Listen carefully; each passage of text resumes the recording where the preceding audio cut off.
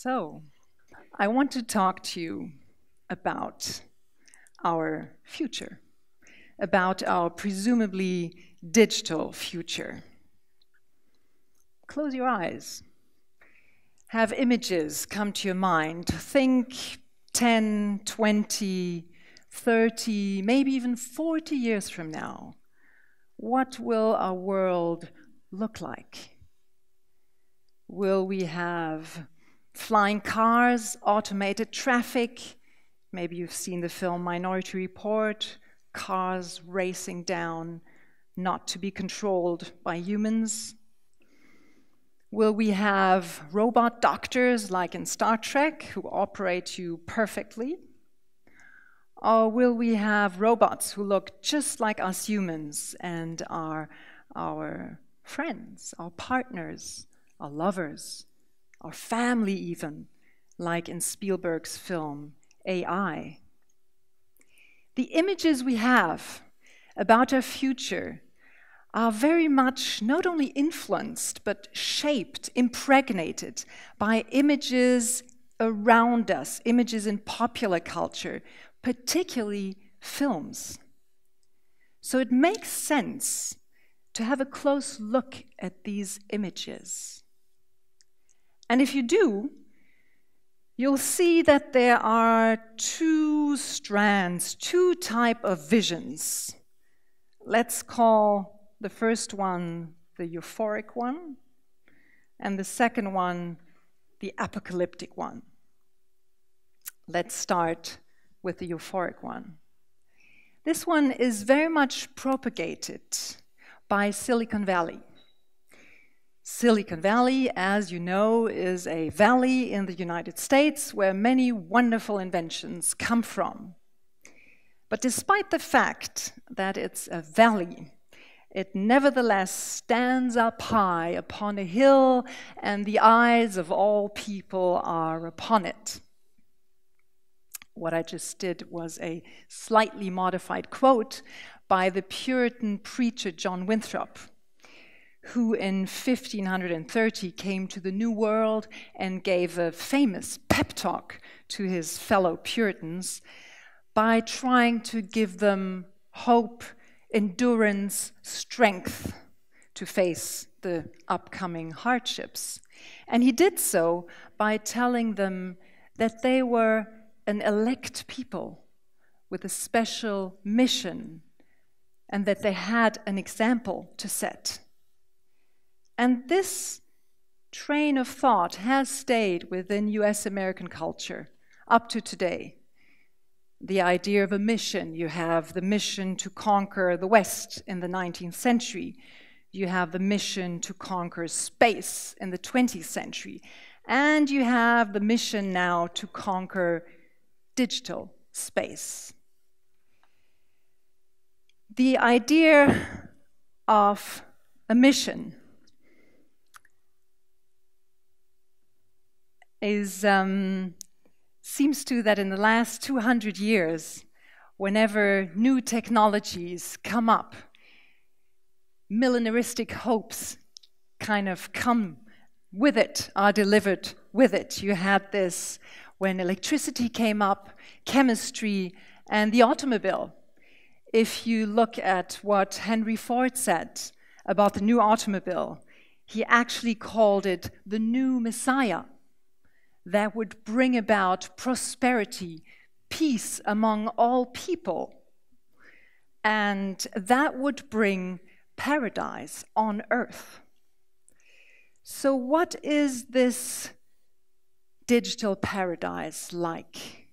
I would say three things are important the idea of interconnectedness, of transparency, and non ambiguity. It's either O or one, yes or no. So, the mission. What is this digital mission about? Let's look at images, images from Silicon Valley, what do we see? The sky, the clouds, heavens, really. That's probably God, second cloud from the right, somewhere. You have the idea of teleology. You start with an ape, you finish man with an iPhone. It's the top of the evolution. And again, the mission, the keywords transformation, revolution. So, this is really more than just a new technology that would bring you money. This is about bringing paradise to earth. So, I spoke of paradise, and as you know, when there's paradise, there's hell lurking not too far from it. So, what is digital hell like? Let's look at movies. Let's look at a movie like Blade Runner, particularly the first one, which is much better than the second one. you, maybe you've seen it, the images, the vision of the world that's full of advertisement. It's all about buying and selling. It's a kind of an economistic hell. Or think of a movie, not a very good movie, but it's good for a purpose. Tron, the legacy, where you have a very recurrent theme, the theme of dictatorship and fascism, made possible through the means of digitalization. And a movie we've probably all seen, The Matrix, the epitome of human helplessness. Bodies lying around in a liquid, the machines have taken over, humans no longer possess dignity, privacy, and self determination. This is digital hell. So, heaven and hell, the two visions, seem to have not much in common, but in fact, they do. And that is passivity. In both cases, on the one hand, there's nothing you can do about the future because you're going to be saved anyway. And on the other hand, there's nothing you can do because you're going to be doomed anyway. So it's passivity that runs through the discourse of digitalization. And I want to make my point even more drastic and speak of regressive fantasies that are linked to the discourse of digitalization.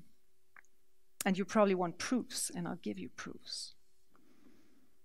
Regressive fantasy number one. My son loves this movie. WALL-E. These are not babies, they're grown ups. So it's the idea of the land of milk and honey robots who cook for us, who clean for us, who operate us, who work for us, who do everything for us. What's left for us to do? we fall back into kind of childish bliss. Regressive fantasy number two Robocop, or here, Iron Man. The transhumanist fantasies, the merging of man and machine, fit well together with a pre Oedipal fantasy of powerfulness, of invulnerability, immortality, even. And the last thing, which I call modern animism. She looks quite in love. She probably believes that her new boyfriend really cares for her. Well, this is an animistic projection. Freud was very clear about that. He said if we project feelings and a soul onto mechanical puppets, we fall back into a magic thinking. It's a fallback into pre scientific and pre religious thinking. So, despite the fact that discourse on digitization always comes across as super high tech and rational and cool. What it's really about, if you look at the images, if you see what's being said, what's being implied, well, it's regressive fantasies. and unrealistic hopes. And the bad news is, I'm afraid I have to bring you bad news. They're just that. And the really bad news are well, we are not perfect, we are pretty mortal, and we're humans. And digitalization is not going to change that. It's still us humans, and we want to lead a decent, a humane life. And the conditions to lead a humane, a decent life haven't changed in the last centuries and are not likely to change. What is it about? It's about being able to live with dignity, with self determination, and the right to privacy and to ambiguity and to secrets, even. So the questions we need to ask ourselves in the digital age are not when will we be saved or when will we be doomed, but what are the technologies we can use to enforce and strengthen the conditions to lead a decent, humane life. And so the challenge for you, for me, in fact, for all humans through all times, is to be adult. And in order to be adult in the digital age, we need to start by being adult about the digital age. Thank you.